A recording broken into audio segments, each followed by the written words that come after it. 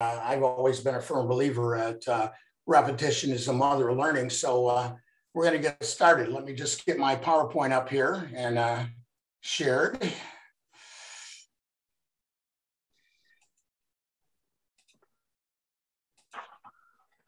All righty, can you see that on the screen? Yes.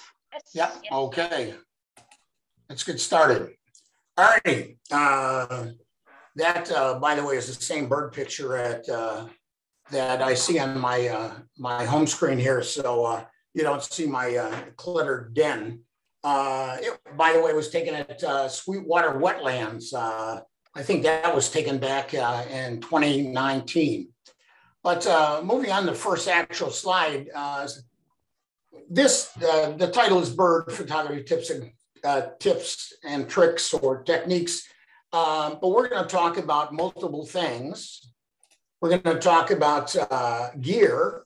Uh, we'll talk about it in a little different context. We generally talk, generally uh, talked in a general way about gear on our first lecture. This time we'll talk a little bit more specifically to certain situations.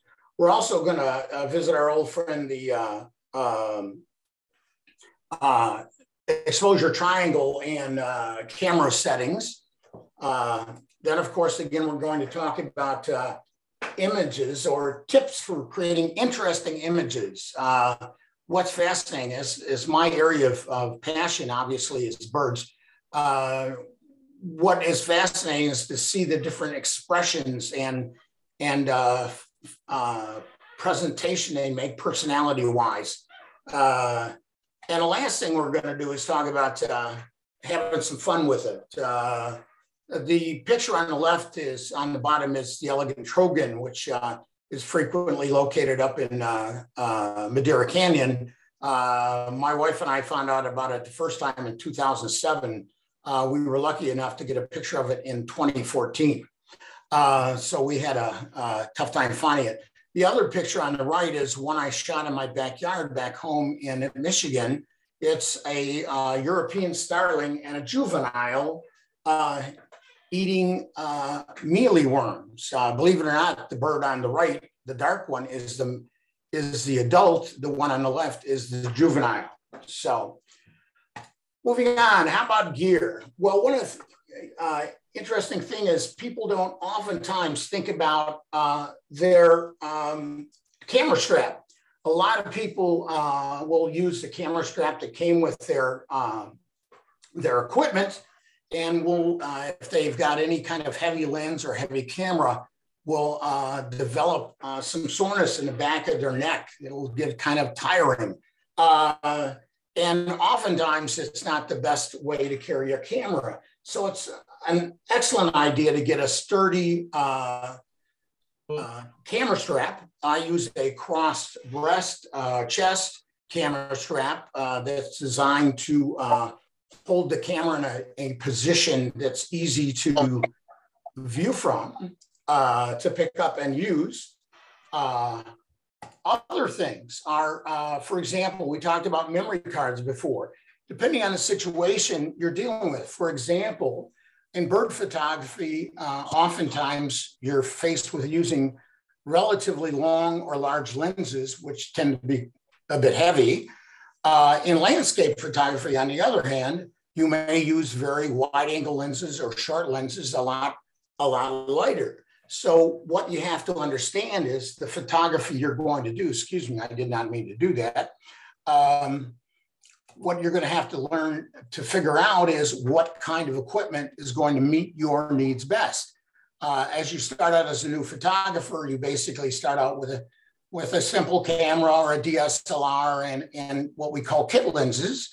And then as you let's say, migrate into deeper into a type of photography, you uh, may have to change your strap, your lenses, your camera body.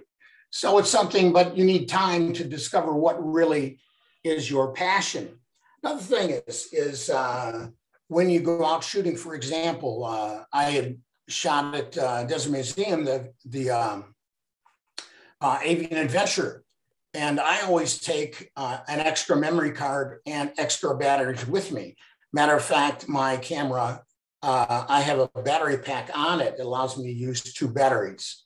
So uh, extra batteries is, is a good thing. Things you may not think about. For example, when, uh, when I go out to something I paid money to go to or something, I want to make sure that my equipment is ready. I have plenty of batteries and plenty of uh, memory cards or, to use. So another thing uh, that's important is a lot of times you just have one battery, okay? And uh, you use it till it's discharged. Uh, and you'll come up with a situation where your battery is about to go dead. I never go anyway without at least one extra battery.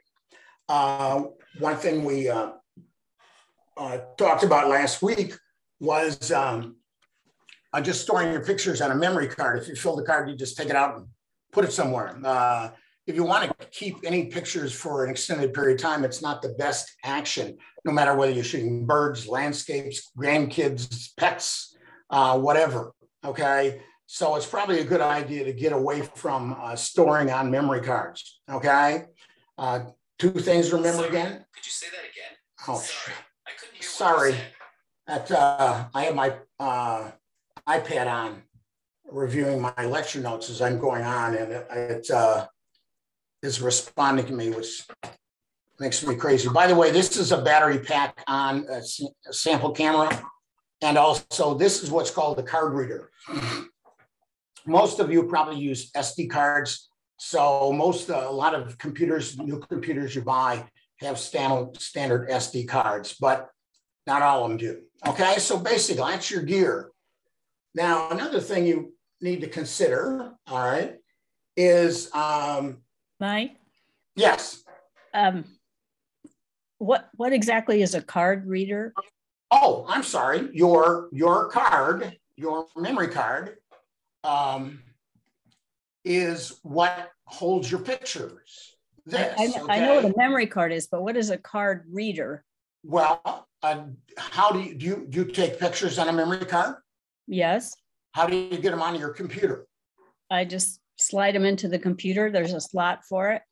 Okay, that slot is a reader. Do you understand? Okay, but the, the thing that you just had a picture of looks like a, an independent piece. Is that something you Yes. could store Yes. pictures on and then reuse your card if you're? No, no, no. The thing is, no. The thing is, is most computers are built in with a um, SD card reader. Some uh, individuals may use two different sizes of cards. Uh, all the computers just read SDs. Okay, so if you have what's called a compact flash card, you need a different card reader. The difference is most are built into the computer because most people use uh, SD cards. But if you don't use SD cards, you have to have a separate reader. If you use SD cards, no problem. Don't need it at all. Okay. Okay, It's nothing, nothing special other than it's able to read the pictures, the content off the memory card and transfer it to your computer. Good question, though. Thank you. Any other questions on that? Okay. All right. When we talk about, uh, for example, specifically with uh, bird photography, if you're going to go out like a trip or something, um, uh, people go to Costa Rica, or you're going to go to Madera Canyon, or you're going down to Patagonia to Paton's, or you're going to go uh, to Fort Huachuca uh, to see the birds over there. Uh, oftentimes, if you're just learning or getting into uh, the hobby, uh, you may want to try out a longer lens, a certain type of lens that you think about purchasing. You can rent them or possibly borrow them, okay? But oftentimes it's a good idea to use uh, use the lens or whatever uh, prior to purchasing it. If you're looking at uh, bird photography, you're talking about long lenses usually. You're talking about landscape, you're talking about wide angle lenses, and there's multiple sizes there. So, uh, other photography, sports photography, you might be looking in the type of lenses you might use in bird photography. So, getting a rough idea what what is going to do the job, uh, the best way to do it is either rent or borrow one to see if it works for you. Okay. uh, for example, um, the hummingbird picture here uh, was taken at um, uh, the Desert Museum walk, uh, Hummingbird Aviary.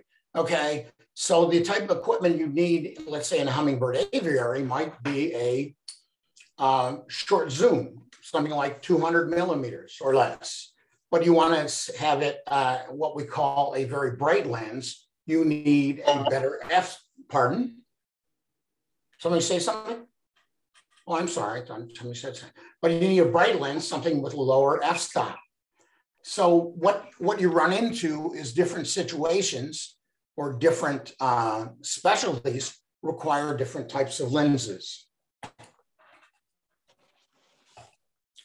All right, types of lenses, again, these pretty much are examples of uh, the longer lenses. Uh, one there, the one on the left is a 400 millimeter, we call a prime lens. That's all it is. The one on the right is a uh, 200, 600, I believe. That is a, uh, um, I'm sorry, excuse me, I'm talking about. It's a 600 mil, which is uh, a prime lens. The interesting, the cost differential between this versus this is absolutely phenomenal. Okay. Uh, this you can pick up for probably a hundred, thousand dollars. Uh, something that's around an F4, a 600 mil might be $13,000. So what you're looking at is, is different lenses, different equipment has different purchases, okay, as far as cost goes. Um, let's see where we go. Uh, yeah, as far as specifics on that, you can, you know, get with somebody later. Right now, just a general idea, bird photography, longer lenses, landscape photography, and let's say uh, with the grandkids and the pets, possibly maybe wide angles. So that's something to, to think about in the future. Another thing you might want to think about too is we talked about different kinds of cameras, uh, what we call full frame, which is the equivalent of the old 35 millimeter camera, and what we call an APS-C uh, camera, which is uh, smaller. Uh, those two factors become important. For example, if you're going to do landscape, you may lean towards a uh, camera that has a full frame uh, sensor. Uh, if you're doing in bird photography, sometimes people like to go with APS-C, and that can be talked about some other time. So again, uh, you've got some decisions to make once you get out of uh, just trying things out. Some of you may be established photographers and already have your passion. Uh, other people may be looking for um, uh, looking for other methods of uh, uh specialties they'd like to get into. A couple of things here uh, as far as uh, other gear. when we talk about the heavy lenses necessary with bird photography, we're going to talk about the need for a tripod and a head for the tripod. Interesting thing when you buy a tripod, if you buy, you know, uh, cheaper ones or whatever, they usually come with a head. When you get into the more expensive uh, tripods, uh, they tend to be uh, sell the tripod and the head separately. Uh, for example, with uh, landscape photography, you would probably use something called a um, ball head uh, which allows you to set up and get different angles on your landscape. But when you're doing bird photography, what you're looking for is something that will allow you to pan with the bird. Also, uh, the camera tends to be quite heavy with a long lens on it. So then you're going to look like uh, for something called a gimbal head, something that allows you to uh, track your birds and so on and so forth when they're in flight. And also another thing on, on tripods, uh, one thing you do not want to do is skimp on tripods.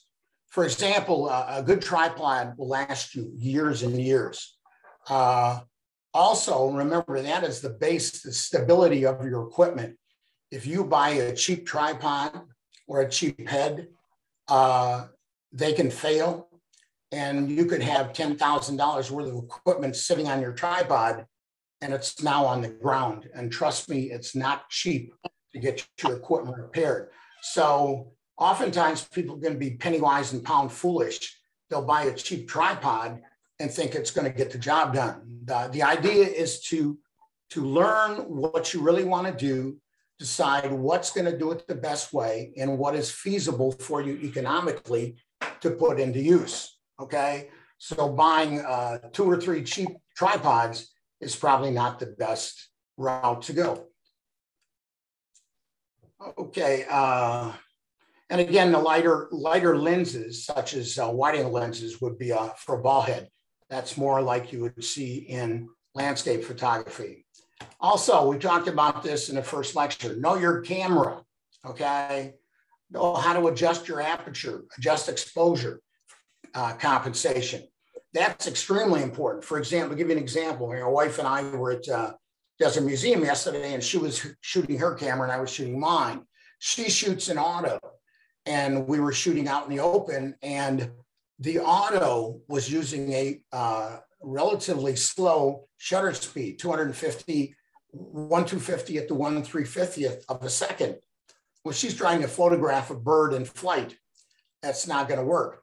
Also the auto didn't allow the camera to compensate for backlighting.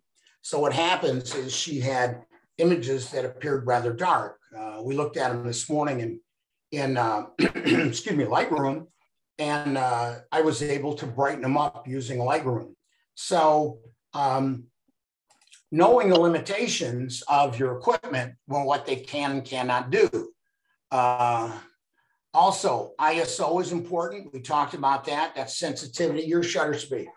If you're doing anything involving moving subjects at all, okay, and some birds move constantly, you need to be very cognizant of your shutter speed and uh, uh, changing uh, your metering mode.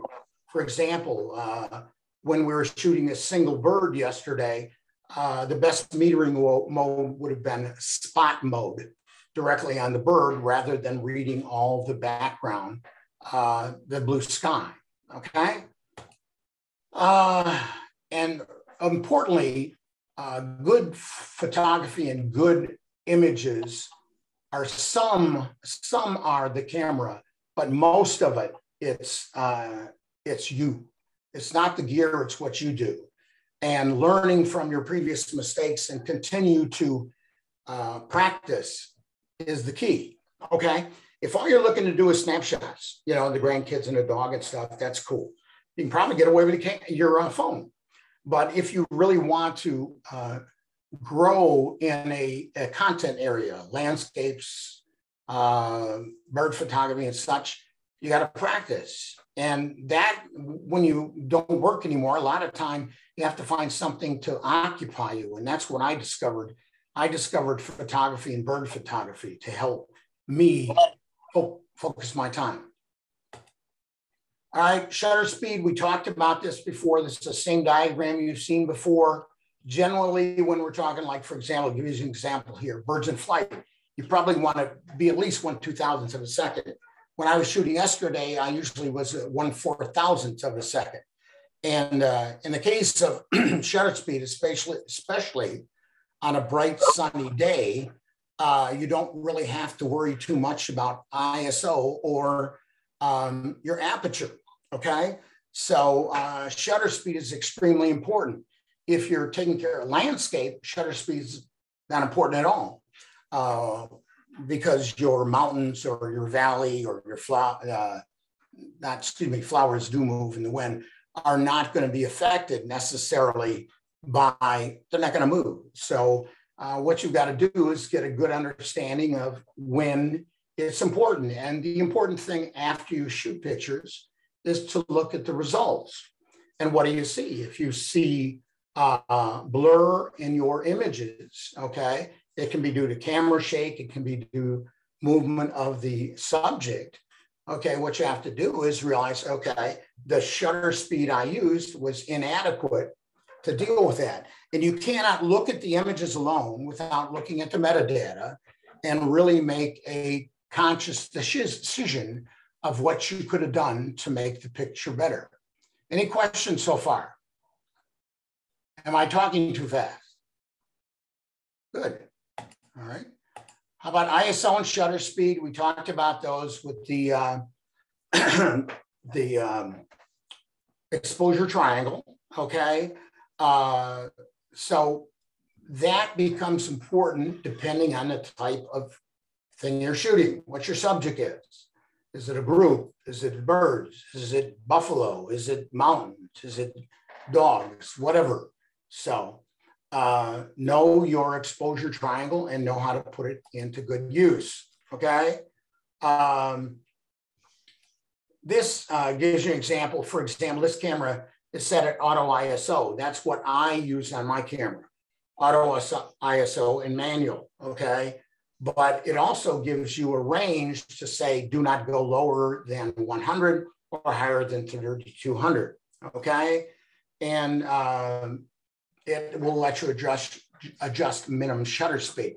So what this does basically is allow you to set the parameters that you find acceptable you know for noise uh, for uh, over or under exposure all right Fast frame rates, uh, minim minimally, I, I recommend, I suggest, even shooting static images, I shoot approximately three to five frames a second in a burst mode, okay? Uh, three is probably adequate. I use five as an example, but I personally never shoot single shot, okay? Uh, it doesn't meet my needs and it doesn't allow me to compensate, let's say, for camera shake. When you shoot a single shot, every time you take a picture, you have to push the shutter button. One problem with that is every time you push the shutter button, there's a tendency of developing what's called camera shake. So if you shoot three to five images uh, with one uh, push of the shutter, you're going to eliminate that possibility of camera shake but that that is personal preference. Uh, uh, my camera has the capability of shooting at 20 to 30 frames a second. I rarely, if ever, do that. I don't think I will ever use 30 frames a second.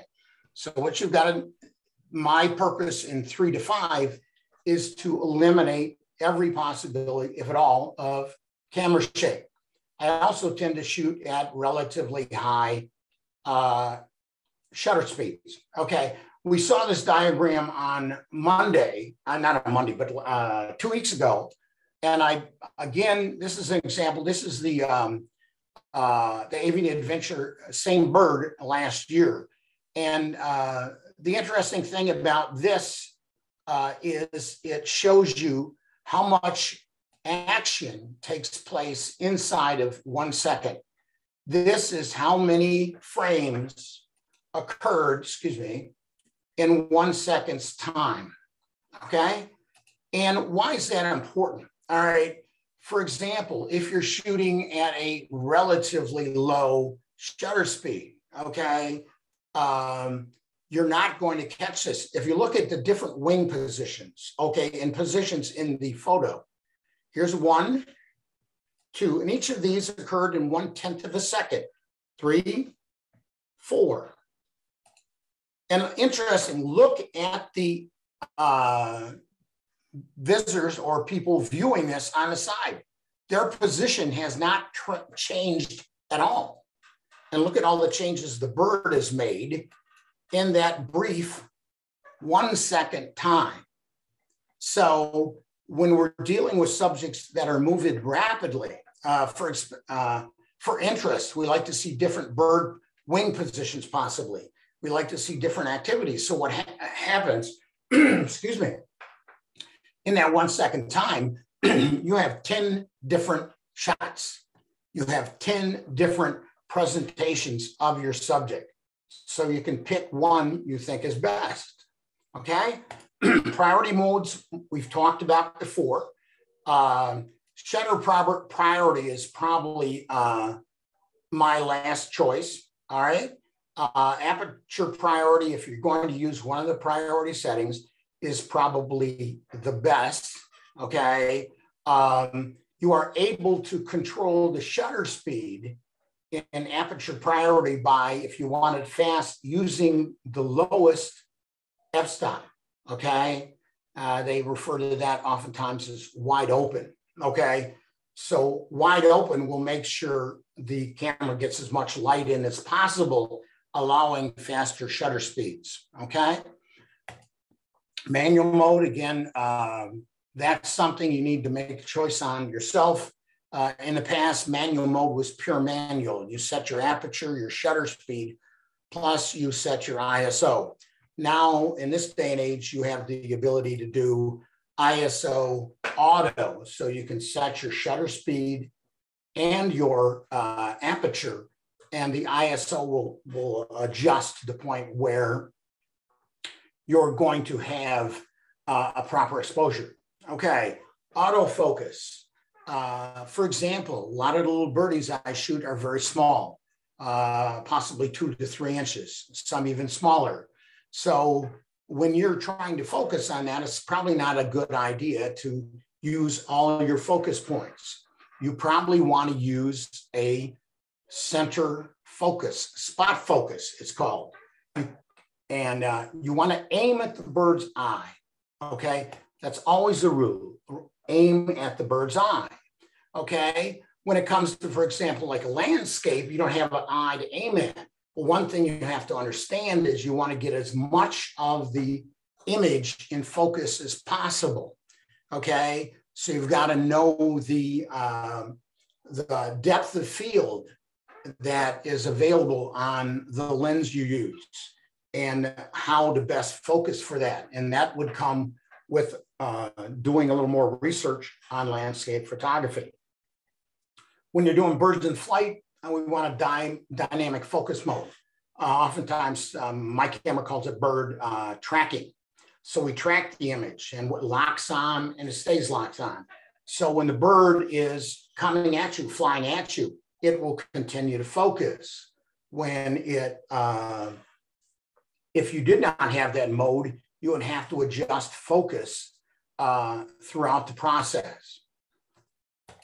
Okay, uh, sensitivity of focus. Uh, I use locked on oftentimes.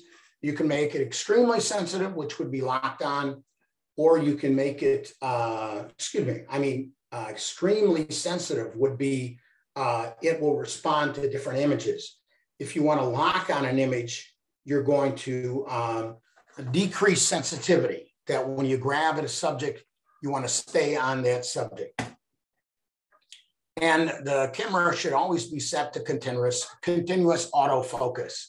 Uh, you have, uh, some of you may be using your uh, primary, primary uh, focus mode as single shot, okay? Um, as far as uh, the rationale behind the single shot versus um, a continuous focus, uh, my tendency is to lead uh, towards uh, continuous focus. All right. So under that circumstance, I'm ready for anything. If I'm going to need to shoot rapid shots, I don't have to screw around with changing my uh, focus from, let's say, single shot to continuous.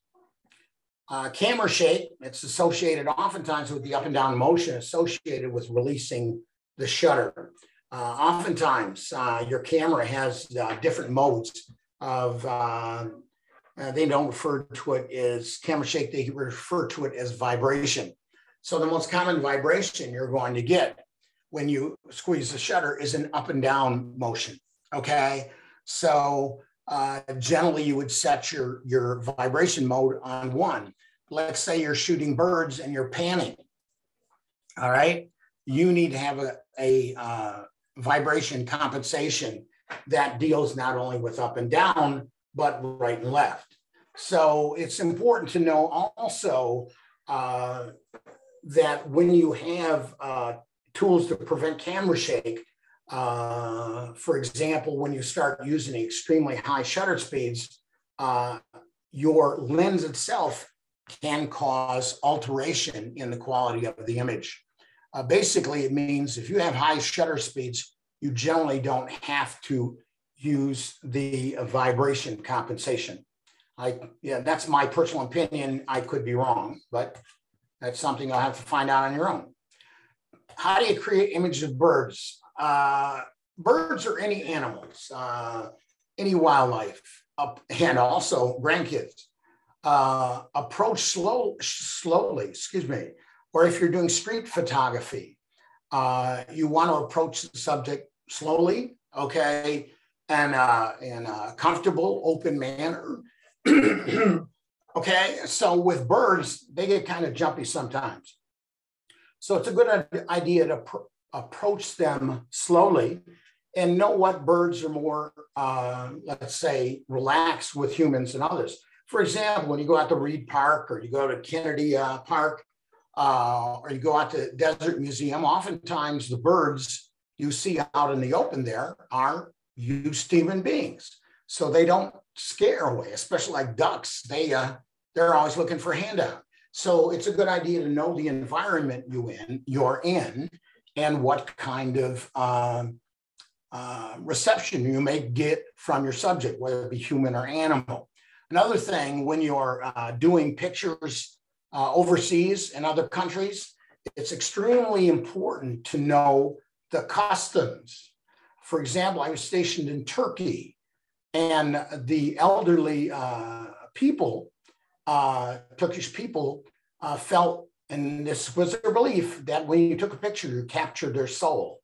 And that's not a joke, okay? So when you're dealing with people, not everybody, remember, are Americans. So you need to be aware of what uh, customs are relative to photography. And always, if you're going to ask to take somebody's picture, offer to supply a copy to, of them sometime. Get an email address or something like that. If you access, have access to a printer, print a copy up okay, and always ask permission, okay? So um, when you're dealing with uh, not only humans, but birds, you wanna separate the bird from the background, okay? And this is done with depth of field and your uh, f-stop. Uh, again, focus on the bird's eye. Uh, I'm I luckily have a camera now that will focus, focus directly on the bird's eye. So that helps me out a uh, whole hell of a lot, okay? know what's happening around you. Okay.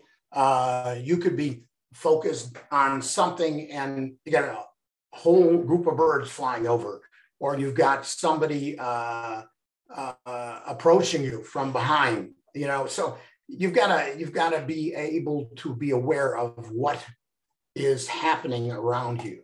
Okay. Uh, try and make your images, uh, your composition interesting. Uh, for example, uh, with birds, a lot of times you have branches and foliage around. Uh, so oftentimes it clutters up your image. Uh, let's say you're taking a picture of, uh, of a friend or something like, uh, and they have a tree trunk growing out of their head, it looks like. Or so you have to take into consideration when you look at people to shoot pictures, you've got to look at everything in the image to make sure there's nothing there to distract the viewer of the image from the image itself. Look for great light. If possible, stay away from your subject staring directly into the sun. Um, mostly with humans, uh, I'm sure it's that way with some pets. So look for great light. Often the best light is in early morning or late afternoon or early evening. Uh, also, if you have, have a favorite spot, all right, go to it frequently, check it out, see what's going on there. Okay. Also, when dealing with subjects that are alive, humans, pets, wildlife, birds, know what their behavior is. For example, hummingbirds oftentimes will fly out, grab a bug or something from the air, and then fly back to the same, exact same branch. There's another type of bird called a flycatcher, which flies out from a perch and returns back to that exact same perch. So you've got a situation where you know your subject is going to return to the same spot. what you do is you set your camera, focus on that spot, get it all prepped, so when the, the bird or animal comes back to that spot, you take a picture, you're all set. You don't have to screw around with focus or anything else. So capture behavior, know what the behavior is, be creative, uh, shoot from a different angle. You know, don't shoot the standard, you know, everybody does it type thing. That's great if you're on a show that you've been somewhere like the Hoover Dam or something, you want to post it on Facebook. But get creative. If you're trying to, you know, create something that piques interest, try doing something just a little bit different. Uh, birds, again, are kind of skittish, and so are animals. Okay. Uh, coyotes, foxes, uh, bobcats, I'm sure, uh, can be very skittish. So, again, you need to approach them slowly. Okay. For example, when wanting to take a shot of, let's say, a raptor up in a very tall tree, a dead tree called a snag, uh, what I do is I'll take a shot when I uh, visualize it first. I see it. I'll take a shot, take a few shots, move a little closer, take a few more shots, move a little closer, take a few more shots. You want to get to the point where um, you make sure you get a shot of the bird, but uh, you don't want to wait. I just want to take the best shot, so I'm not going to take those others. It just makes sense to take a shot, uh, take a safe shot you're eventually going to hit the part or point where the bird is going to take off or the critter is. All right. So what you want is you also want to be prepared for what, excuse me, when that animal takes off on you. A bird, you can catch it in flight. Hopefully, you can get the animal before they dump jump into the brush. All right. Behavior, no behavior of any of your subjects, birds, grandkids, no, that babies' favorite toy, if you're taking pictures of babies, dogs, what's their favorite toy? Same thing with, uh, I put, I have bird feeders out in my uh, patio here. Uh, I use those to occasionally take pictures of the birds around the area. So uh, know the behaviors, know what they like to eat, know what they don't like to eat. Learn as much as you can about your subject. Uh, it makes it a lot easier to create better picture, pictures when you know your subjects. Learn where the birds nest. Learn where they feed. Same thing, where does the animal create their den? Okay. What does the kid like to play with most at the park? Mating habits. Uh, oftentimes with birds, the most colorful they are is uh, in the mating season. Season, excuse me. Uh, the males oftentimes will develop some absolutely magnificent colors. So, and know when mating season is. They tend to be more protective during mating season also. For example, here's a grayhawk, okay? Uh, they nest in higher trees and you see them uh, down around uh, in southern Arizona. They're usually found in Mexico, by the way. But in southern Arizona, you'll find them down in Tubac, uh, Patagonia area, usually a little bit further south than uh, in Green Valley. I maybe some people have seen a gray uh, grayhawk in Green Valley, but I'm not really aware of it. That doesn't mean it doesn't happen, and you'll rarely see it up in Tucson. So again, you need to know uh, where they like to live, you know, and uh, where they feed and nest. Now, behavior. I mentioned flycatchers a minute ago. What their feeding behavior is. This is a vermilion flycatcher okay? Was probably the, sitting on that branch a second ago. So what it's doing, it's flying out, gets a bug, and comes back and sets right on that branch again, okay? So as long as you don't violate its space or get too close, they'll continue to do that. And it's predictable behavior. When you see a vermilion flycatcher, which is very bright and red, easy to identify, you can know it's going to fly out grab a bug, and come back. Okay. So isolate your birds from the background. Okay. Again, uh, try to avoid perching, uh, uh, taking pictures of them purchasing, perching. God, I'm having a hell of a day here. Excuse me. Perching in thick branches or deep grass. It doesn't make for a good picture. Okay. Songbirds will flit from branch to branch and tree to tree. Uh, for example, uh, there's a little warbler called an orange crown warbler, uh, which flits around like crazy. A very a lot of very tiny little birds that are all, all over the place. And when you first get into bird photography, trying to take a picture of one, a good picture, a clean picture is extremely difficult. Okay. And uh, if possible, with a bird, for example, in branches uh, or having some close foliage behind them, a good idea is to shoot a wide aperture. For example, at, uh, at uh, the Avian Experience, I was shooting in uh, at about f2.8 on my 7200 lens to um, blur out the background. Okay. Um, again, a lot of times you don't have that luxury. Okay. Um, so trying to find a clean background may be better than trying to use a, uh, a focal, uh, excuse me, a aperture you don't necessarily have. Busy blurred backgrounds. Okay. Uh, there is a way if I was shooting like in an f2.8 or a 1.4, depending, I, that fence would become a blur. Right now, that's not a very good picture. If all the only purpose in taking the picture of the bird is to say, I've identified the bird, I have seen this bird, that's okay. But as far as sharing with others or anything like it, it's not really that interesting. Here's an example of a flycatcher uh, that is flying off from a branch, but look, the background is all out of focus. The bokeh is very good. Okay, the bokeh means the uh, the background. So if possible, blur the background. You want the focus of the picture to be the bird, not the background. Bird position, for example, this is one I shot last year. Um, uh, I can't remember which park it was, uh, over on uh, the nor northwest side of Tucson. And if you look, the branch is going right through the eye. Uh, I'm not sure whether that's a Cooper's hawk or a immature red tail. Uh, I'm kind of shaky on some of my uh, definitions. Okay, excuse me, my identification. Let me get back here because it missed the other one. All right, so let's get, all right, there we go.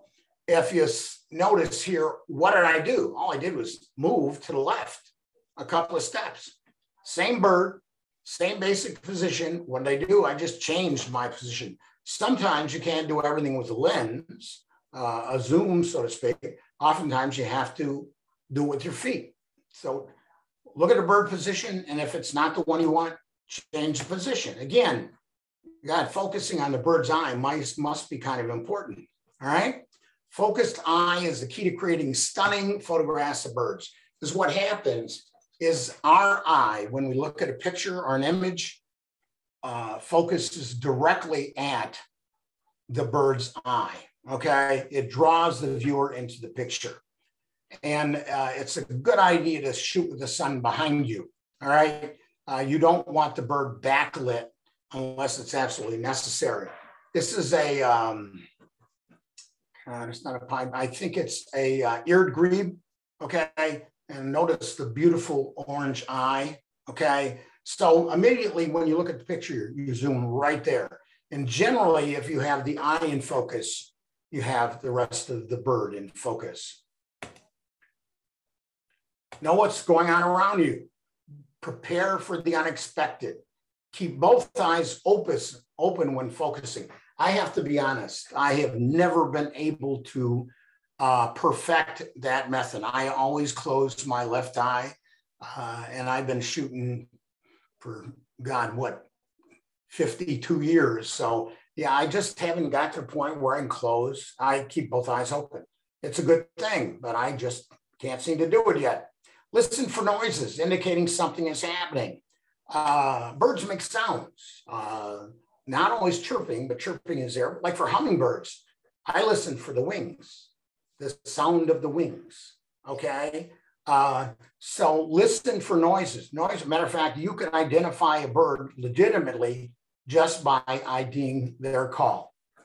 And uh, occasionally it's a good idea to take your eye off the viewfinder. But I always think sometimes I take my eye off the view, viewfinder. I just lost the best picture I could ever shot, but that's just me. I'm kind of a paranoid about that kind of stuff. Any questions? Anybody still awake? Okay, y'all could be gone and I wouldn't know. All right, how about trying to take bird pictures from their perspective? Uh, good idea, like when shooting ducks, uh, get down on ground level or the level of the pond or the lake. All right, uh, with birds, try to get on their level. If they're in a low, uh, low bush, a good idea to um, get down on your knee. My problem, I get down on my knee. Uh, I need somebody to help me up. Keep your lens at eye level. Okay, so it's it's you're not moving uh, the lens up and down. You want to see if you can keep that lens at eye level. Um, also, uh, these positions allow for a blurred background depending on your f-stop. Also, if you get down, let's say on the ground level with ducks or something, it will take some of the background out of the image. And also give the bird room in the frame, especially if the bird appears to be moving one direction or the other.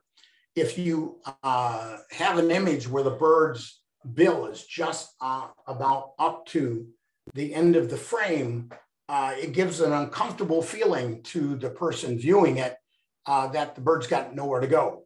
So give the bird or give the coyote, the fox, the grandkid, uh, the player, baseball player, give them room in the frame.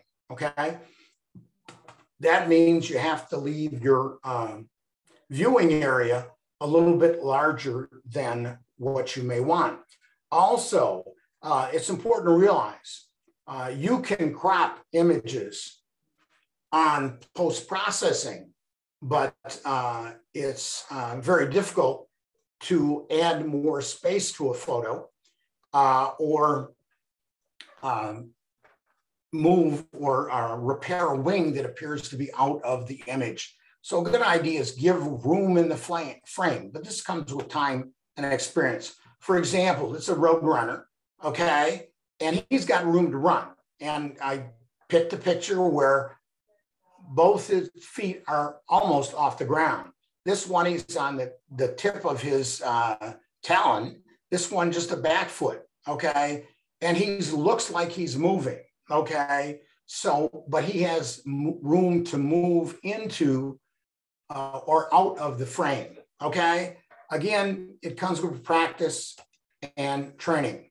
Create interesting composition. This is a picture of a male ruddy duck. It was shot out at Sweetwater, okay, uh, probably a couple years ago. Okay, the beauty of this duck is the, the, the uh, sky blue bill, okay, the rusty color on the, uh, the back and wings, okay, the white uh, neck here, okay, and the eye. Uh, notice I took it in what would appear to be a busy background, okay, and it is, but uh, it demonstrates the environment this duck lives in and also hides in.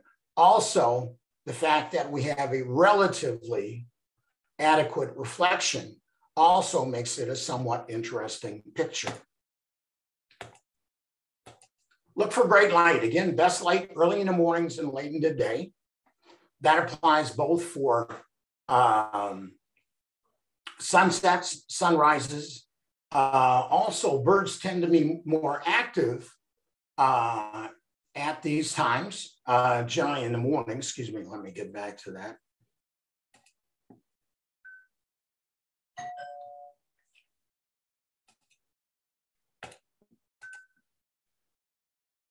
Let's get back here again.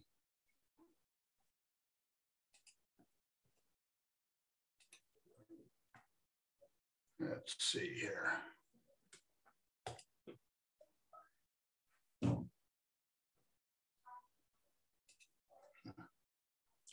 What did I lock up here? I'm gonna stop sharing for a second and bring it back on. Okay, any questions this point at all? And I appreciate you hanging in with me. Okay. Uh, so, Mike, how do you yeah. um how do you set your camera so that you blur the background? I well, can never get that right. Well, the the key is actually the key is your f-stop. Okay. Um, for example, most kit lenses don't have, when you're talking about, depending on the type of lens, for example, when you're talking telephoto lenses, uh, like um, um, the lens I used yesterday was a 70 to 200, and the widest opening uh, or the most light is allowed in by uh, f2.8. Okay, so uh, but your longer telephoto lenses, uh, generally, if you can get one f4.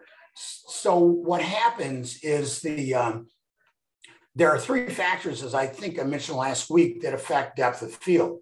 One is the f-stop, two is your distance from the subject, and three is your focal length. The longer the focal length, uh, the more difficult it is to blur your background. So can you example of, uh, give me an example of what lens you're using and what type of situation it is? Well, I just have a bridge camera and, okay. I, and I apologize. I missed your class last week. I'm trying to catch that up, but it hasn't appeared on YouTube yet. Yeah, unfortunately, uh, we didn't record it last week. Oh, uh, I can I can send you a copy of uh, if you'll send me an email. Okay, uh, it's uh, Mike M I K E four F O R E at Comcast.net. Send me an email. Tell me you want last week's lecture. I'll send you the entire PowerPoint Okay. Okay. So at least you'll have that as a reference. And by the way, uh, as I told you the first session, and I'll tell you again, and I mean it honestly, okay? You can email me about any subject relative to cameras or photography. You can text me at 810 516 0220. You can text me or call me if you need be about questions about photography or camera. If you're inter- interested in meeting one on one, for example, to pond or something like that, or you want to meet as a group, two or three or four of you, I'm more than willing to do that. Okay. Because uh, a lot of times it's better one on one or in a small group than it is on Zoom. So uh, I would generally want to do the best possible for you. And sometimes that requires you and I to meet in person. I am fully vaccinated and boosted and I do wear a mask. So um, uh, does that answer your question? Uh, was it Marilyn who asked about uh, last week's lecture? Yes, it was Marilyn. Okay, Marilyn, thank you. Does that answer your question? I will get that out to you as soon as you send me an email. Okay, so what I, if I want to blur the background, mm-hmm. then am I using a small f-stop or a large number? Small f-stop a small f-stop. Yep, yep, like blur. anything okay. below F4. Go ahead, I'm sorry, I interrupted you. Yes. Do you, now, do you have a hint on how to remember that? Because I have the hardest time remembering that. Actually, uh, um, I'll tell you what. Um, if you want to think about depth of field, think about f-stops instead of thinking about letting light in, think about uh, depth of field. And if you want uh, the best depth of field. Let's see, how do we talk about this? The best depth of field. The best depth of field would be like F22. If you want a shallow depth of field, your lowest F number. Okay? A shallow depth of field, blur out the background, is your lowest F stop. Okay. Okay? There's a problem with, with thinking light and uh, F numbers, they're they're counterintuitive. You know, you think F1, four, let's say, wouldn't let much light in, but in reality, they let the most in. So what I suggest you do instead of looking at at as the amount of light you're letting in, think about is blurring the background, least depth of field. So okay. lowest f-stop number, shallowest depth of field, blur the background. Okay, that may help. Thank you. Oh, okay, good. All right. Any other questions? Thank yeah, Mike. question there. Mike, yes. Randy. Hi. Say, Hi. Mike, uh, talk a little bit about when you take a picture like behind you, all those birds that are flying, when you try to crop them down when you're trying to get a final picture, I was at Whitewater Draw last week, you know, and I got a picture like behind you with all the cranes. Uh-huh. But then when I tried to isolate maybe three good cranes in there, when you try to crop too much, you lose clarity. You know, yeah, really part of the problem, if I can anticipate the rest of the question, part of the problem is uh, if you take a group like this, you're not going to be able to isolate. Okay. The, the purpose of a picture like that is to show how they come in in flocks. If you want to, for example, uh, get like narrow it down, zero it down, take images as their first landing or capture isolated birds, or if you can catch them in flight, that may be difficult, but try to focus on isolated birds, okay? Because uh, this a group like this, and nah, it's not going to happen. You got too much there, too much clutter there. You know, yeah. it serves the purpose, okay? But as far as isolating a bird net, and uh, you're going to have to one crop too tight. Uh, the image quality is going to decrease, and it's very often very difficult to isolate, you know, a couple of birds. So my yeah. suggestion would try to find a couple of birds isolated. Okay. Yeah. All right. Any other questions? If not, I will get rocking and rolling again if I can pick up where the hell I was. All right. Okay.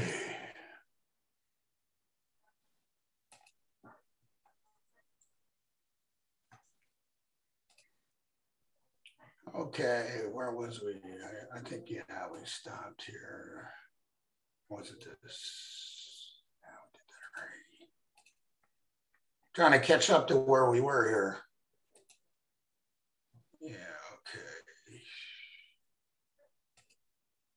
Okay. Looking for great light. Again, early in the morning, late in the day. Uh, they're called the golden hours oftentimes. Uh, and also a nice thing about earlier in the morning is uh, birds, birds tend to be uh, much more active at time, that time. Although in Arizona, uh, when it gets real cold in the morning, uh, they don't get active till let's say possibly 7, 7.30, 8 o'clock in the morning. So um, uh, they kind of sleep in because it's cold outside, all right? Uh, visit a location frequently. For example, uh, going to Madera Canyon. you go there and you're, you're comfortable with what you see on the, let's say, Proctor Trail you know what kind of birds you're going to see at, uh, at, for example, Santa Rita Lodge on the feeders. You know, you're guaranteed to see acorn woodpeckers. You're guaranteed to see Mexican jays. Uh, you're guaranteed to see a few hummingbirds.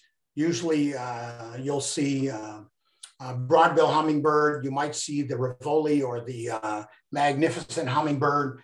But uh, if you get get familiar with different locales, okay, you find out what you're going to see and when you're going to see it. For example, uh, uh, the birds are not as prolific right now at Santa Rita Lodge, but that will pick up as soon as we get into mid-February to later.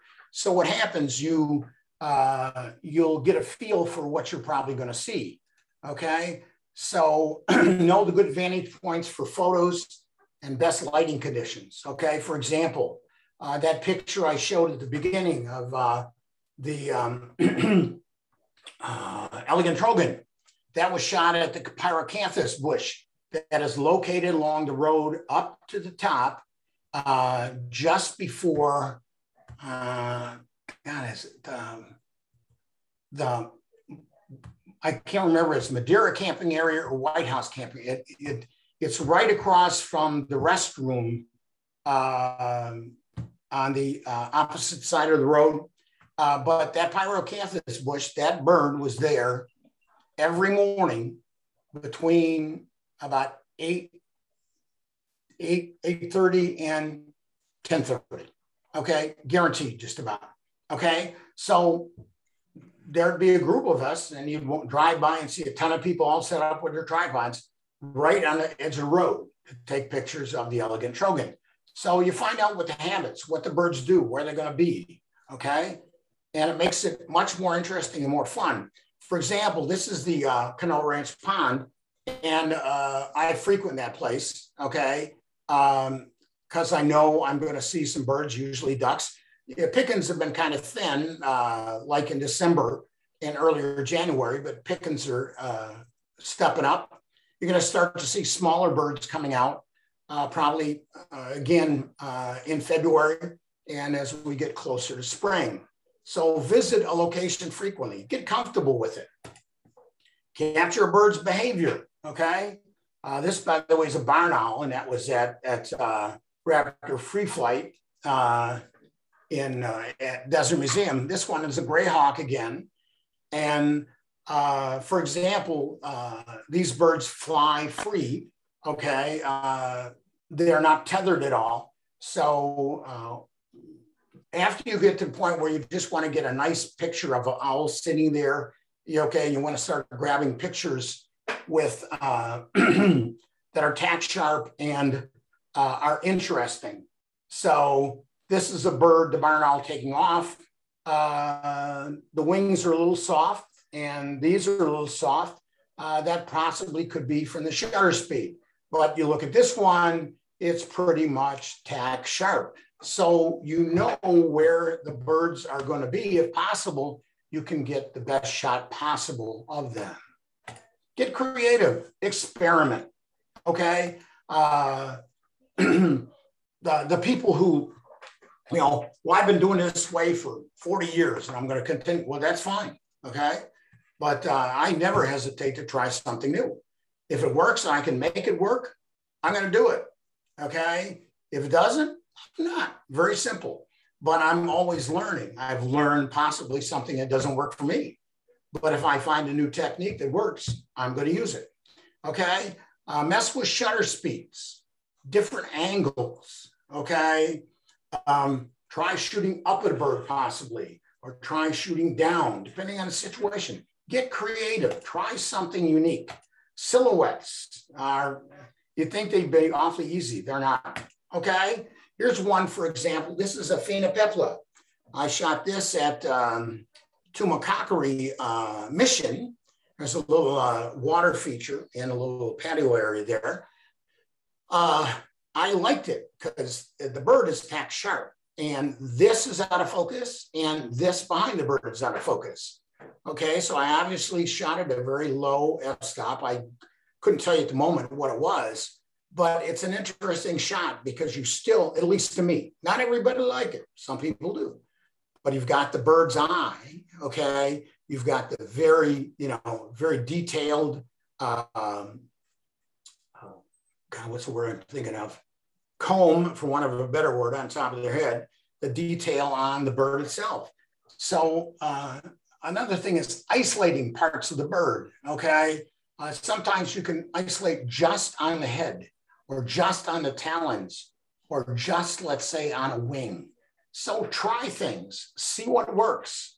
Because the whole joy of, of picking up a hobby like this, I don't care whether it's birds or anything else, is to grow with it, is to learn from it, is to broaden your, for it's kind of trite, I guess, but broaden your high horizons. Okay. Also with birds, and the, this would apply also to automobiles. For example, this bird was flying, okay, and I panned with this bird. Pan means you go like this. And I usually have my shutter uh, pressed, so I'm shooting rapid fire, okay? So notice the bird is pretty much tack sharp. Look at the background, totally blurred. Probably a combination of f-stop and also the fact I was panning, okay? uh, you can shoot lower shutter speeds, but you have to figure out what works. If you lower your shutter speed and you can't keep the bird tack sharp, you're going to have to increase your speed. Okay. And when you pan, you don't want to do this kind of number. You want you want to do a smooth pan. Okay. And these are things all take practice. Same thing if you're shooting racing cars. If you stop, you can always stop a car dead on a racetrack with the background all clear and everything else, but does it give any interest to the photo? Does it look like it's moving? No, it's stopped dead. So what you want to be able to do is follow the automobile, take pictures as you follow it. And notice the entire background will be blurred. Okay. And it adds a ton of uh, interest to the image. It actually tells the story. but it requires practice and time. Okay. The key again is to keep your subject in focus. Learn, grow, and enjoy. A great gear doesn't equal great shots. Great shots are a result of practice, planning, and proper execution. Better focus on the bird's eye or the subject, subject results in better flight images. Okay.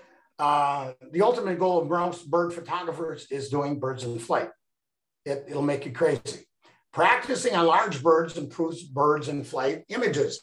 You ever go out to the pond and they're curious, watch a, uh, let's say, a great blue heron fly or a, a great egret fly, and then watch a vermilion flycatcher fly.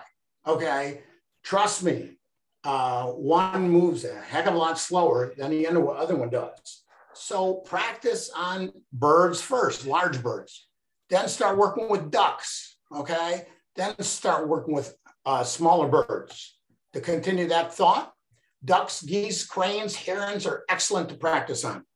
Also, um, your uh, bald eagle, okay? Uh, your larger raptors, okay? uh, ferruginous hawk, that type of thing, are great to practice on. It's interesting to go out at uh, to the Desert Museum and they fly the peregrine falcon and you're ready to pull your hair out, okay? But the uh, uh, ferruginous hawk comes out or the great horned owl comes out and it's relatively easy to follow and shoot. Also, setting feeders in a, a bird bath at your home is a good idea. Um, I do it here. Uh, some people are fans, some are not. And bird photography is rewarding, addictive, and fun. Okay. It's fun, but it can also be very frustrating. And the nice thing about frustration is it's your op- opportunity to learn. If you know everything or do everything only in your comfort zone, you'll never grow. Okay uh, a tack sharp image of a bird in flight will put a smile on your face. Trust me. And it'll kind of puff up your chest a little bit. All right. So thanks for this. And I wanted to, um, oh, the picture I added didn't show. This was the one I wanted to show. And I've got a couple of things I want to show you, not in the PowerPoint. This is my wife yesterday at the uh, uh, the Avian Adventure. Uh, that's our buddy. His name is Klaus. Uh, he's a Eurasian, Eurasian eagle owl. Uh, he's big, uh, but he's, as they say, a pussycat. It was it was a fabulous time, out, outstanding time. So if you can bear with me a few uh, minute, minutes, uh, I've got some interesting shots I want to show you that can give you some examples of kind of what we talked about. All right. Uh, I'm going to bring up my Lightroom here. Any questions while I'm doing this? Of course not. All right. Okay. Let's see. Let me get something up here I can uh, make you crazy with here. Let's see. Do, do, do, We're going to do this. I'm going to take it down here.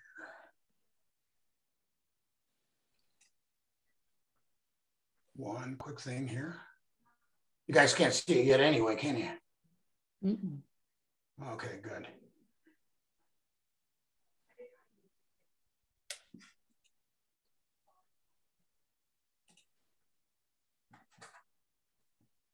All right, here we go.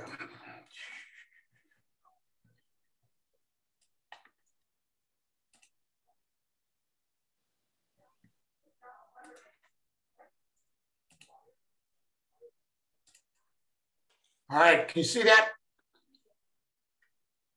Can yes. you see the screen? Yes. Okay, these are some pictures uh, I shot yesterday at the uh, uh, the Avian Adventure. Take for example, let me uh, be critical of my pictures. Okay, here's a shot. My wife had just released this bird from a wrist. Okay, anybody want to volunteer to guess what the biggest problem with this picture is? The whole wing isn't in view? Well, that, that could be. The, since I was trying to relate the bird to my wife, what's happening? We don't see my wife. Okay. So how would I correct this? I would do move back and over to the side a bit. Okay. The bird's fine. Okay. It's tack sharp. It's, you know, it's looking that way. Also, things are, you know, certain images where the bird is not, uh, you miss the wing or something. After a while, sometimes that doesn't become as important. Okay. Uh, like here, the, the wing is cut off a bit. All right.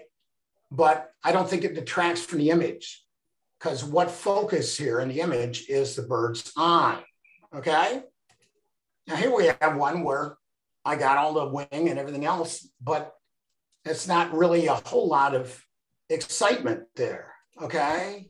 Now this one, the wings cut off. This is blurred. The tail's gone. But as far as the picture goes, does anybody like it? Yeah. I think it's beautiful. So the, the thing is, when you get to a point, for example, now two years ago, I wouldn't do this because wait a minute, no, I, I, I need to get all the wings in. I need to, you know, cutting off their head is a problem, you know, no question about that. But sometimes some of the other uh, uh, issues are not, not necessarily as important. Let's see if I find this one again. All right. Here's another one again with uh, the whole bird is in there, okay? And here the background is blurred, about as blurred as I get, but I'm at f2.8. I would have hoped it would have been more blurred. Do you find what I'm saying? But remember what I told you, there's three factors involved in depth of field. The focal length, right here, I was at about 150 millimeters the distance, this bird probably was not any more than 12 feet away. Okay. And f stop. I had the best f stop I could. I wasn't at that large or long a focal length, but the problem was the bird was so close that I couldn't get the background blurred as much as I would like. Okay. And find a couple of, I don't want to run through all these silly things. Let's see. I saw that one already. And again, the purpose in this was if I'm, I was doing a little slideshow or something on the avian adventure, this would be an acceptable image. One, because the subject in this is the bird. He's tack sharp, the birds are sharp, and we see that he's landing on the wing. I think he's landing. Let's see if he's landing or flying. I think he was landing. Okay. So Another thing, okay, one nice thing is uh, the light coming through the owl's wings, okay? Uh, I would love to have had most of these pictures not to have any subject in there, but uh, not any people in it, but that wasn't an option, okay? This is uh, one of the better ones of the bird just taking off from my wife's hand, okay? And she complained, well, you can't see the bird's face. And I said, well, you know what the hell. But uh, so, you know, basically all I'm trying to say is, uh, see, I like that. See, it captures the moment just before the bird lands. It's got my wife, it's got the trainer, it's got, you know, you're in the desert because of the background, okay?